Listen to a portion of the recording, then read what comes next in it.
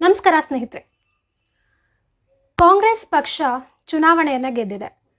ಈ ಸಮಯದಲ್ಲಿ ಮುಖ್ಯಮಂತ್ರಿ ಯಾರಾಗಬೇಕು ಅನ್ನುವಂತಹ ಚರ್ಚೆ ಬಹಳ ದೊಡ್ಡ ಮಟ್ಟದಲ್ಲಿ ಆಗ್ತಾ ಇದೆ.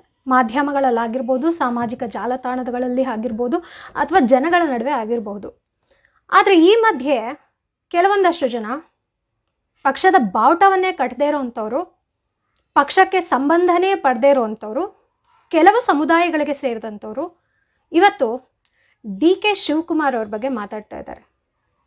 ಅವರಿಗೆಲ್ಲ ಏನು ಅರ್ಹತೆ ಇದೆ, ಏನು ಯೋಗ್ಯತೆ ಇದೆ ಡಿ ಕೆ ಶಿವಕುಮಾರ್ ಅವ್ರ ಬಗ್ಗೆ ಮಾತಾಡೋದಕ್ಕೆ? ಕೆಲವು ಮಠದ ಸ್ವಾಮೀಜಿಗಳಾಗಿರ್ಬೋದು, ಅವ್ರು ಹೇಳ್ತಾರೆ, ಕಳಂಕ ಹೊತ್ತಿರೋರಿಗೆ ಮುಖ್ಯಮಂತ್ರಿ ಪಟ್ಟವನ್ನು ಕೊಡಬಾರ್ದು.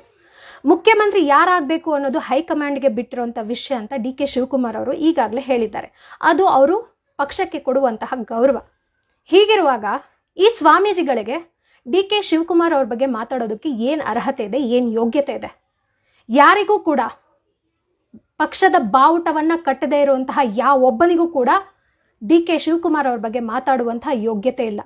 ಎರಡು ಸಾವಿರದ ಹದಿನೆಂಟನೇ ಚುನಾವಣೆಯಲ್ಲಿ ಸೋತಾಗ ಇಡೀ ಪಕ್ಷದ ಕಾರ್ಯಕರ್ತರುಗಳು ಹತಾಶೆಯಲ್ಲಿ, ಇನ್ನು ಕರ್ನಾಟಕದಲ್ಲಿ ಕಾಂಗ್ರೆಸ್ ಪಕ್ಷದ ಕಥೆ ಮುಗೀತು ಅಂತ ಹೇಳಿ ಹತಾಶೆಯಲ್ಲಿ ಕೂತಿದ್ದಾಗ ಎಲ್ರಿಗೂ ಹುಮ್ಮಸ್ಸನ್ನು ತುಂಬಿದ್ದು ಇದೇ ಡಿ ಕೆ ಶಿವಕುಮಾರ್ ಅವರು.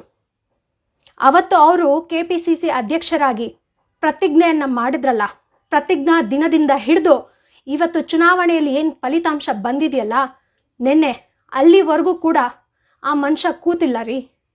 ಇಡೀ ಕರ್ನಾಟಕ ಓಡಾಡಿದ್ದಾರೆ ಪಾದಯಾತ್ರೆಗಳನ್ನ ಮಾಡಿದ್ದಾರೆ. ಮೇಕೆದಾಟು ಪಾದಯಾತ್ರೆಯಿಂದ ಹಿಡಿದು, ಭಾರತ್ ಜೋಡೋ ಯಾತ್ರೆಯಿಂದ ಹಿಡಿದು, ಸ್ವತಂತ್ರ ನಡಿಗೆಯಿಂದ ಹಿಡಿದು ಪ್ರತಿಯೊಬ್ಬ ಕಾರ್ಯಕರ್ತರಲ್ಲೂ ಹುಮ್ಮಸ್ಸನ್ನು ತುಂಬ್ತಾ ನಾವು ಕೂಡ ಚುನಾವಣೆಯಲ್ಲಿ ಗೆಲ್ಲಬಹುದು ಅನ್ನುವಂತಹ ಒಂದು ಶಕ್ತಿಯನ್ನು ತುಂಬಿದ್ದು ಇದೆ ಡಿ ಕೆ ಶಿವಕುಮಾರ್ ಅವರು. ಈ ಪಕ್ಷ ಸಂಘಟನೆ ಮಾಡುವಾಗ ಅವ್ರ ಮೇಲೆ ಕಳಂಕ ಇತ್ತು ಅಂತ ನಿಮಗೆ ಗೊತ್ತಿರಲಿಲ್ವಾ?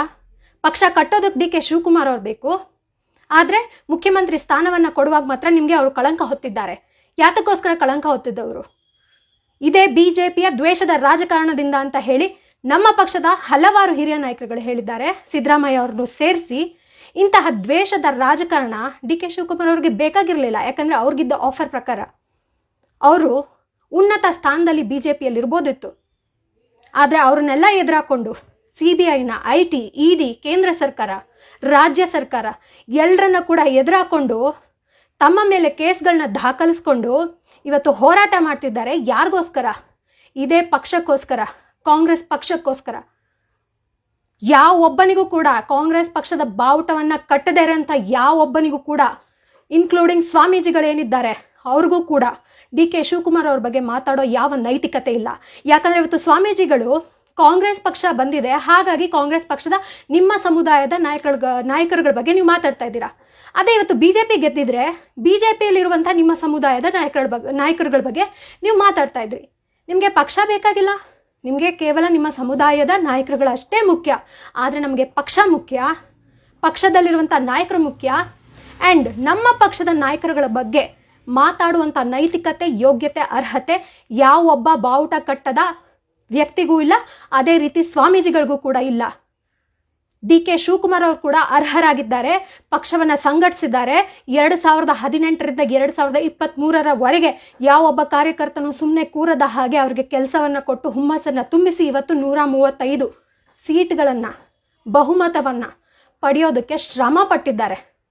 ಮುಖ್ಯಮಂತ್ರಿ ಯಾರಾಗಬೇಕು ಅನ್ನೋದನ್ನು ಡಿಸೈಡ್ ಮಾಡೋದು ಹೈಕಮಾಂಡ್. ಆದರೆ ಡಿ ಕೆ ಶಿವಕುರ ಶಿವಕುಮಾರ್ ಅವ್ರ ಬಗ್ಗೆ ಮಾತಾಡಬೇಕಾದ್ರೆ ಸ್ವಲ್ಪ ಎಚ್ಚರಿಕೆ ಇರಲಿ. ಧನ್ಯವಾದಗಳು.